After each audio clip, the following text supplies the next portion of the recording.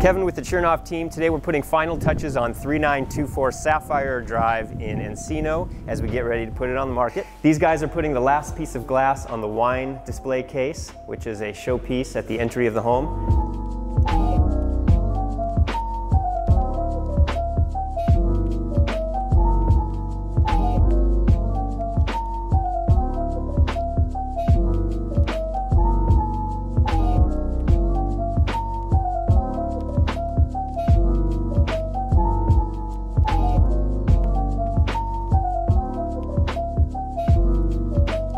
One of the first things you'll notice when you enter this home is its unique styling with matte black finishes and lots of natural wood.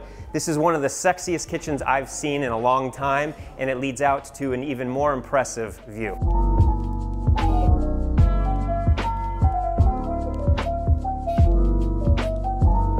We're right off the kitchen in the backyard now. One of the themes of this house is you can enjoy the view from almost any spot in this property.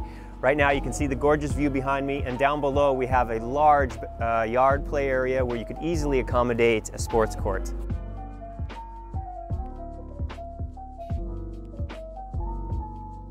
Right around the corner we have a zero edge pool and jacuzzi with a barbecue, outdoor television, and it makes a generally great hangout area. No expense was spared even on this staircase. We have a heavy gauge wrought iron handrail and Venetian plaster wall.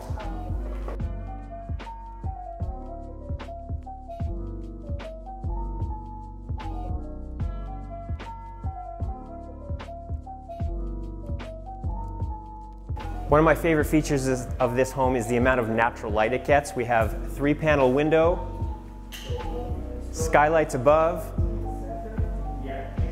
and a beautiful view overlooking Royal Oaks.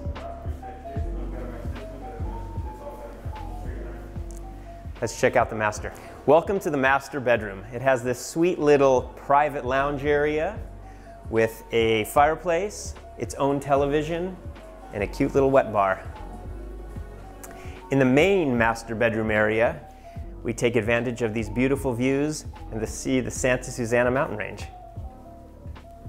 It has a huge wraparound balcony that goes the full length of the home. And this hallway leads into a about a full room size walk-in closet. Plenty of room for all your clothes. The master bathroom isn't so shabby either. With its custom stone cut integrated sinks, chevron tile inlay, and a curbless walk-in shower. It's called curbless because it's flush with the floor and there's no curb. Thanks for taking a tour with me and watch for this property coming on market soon.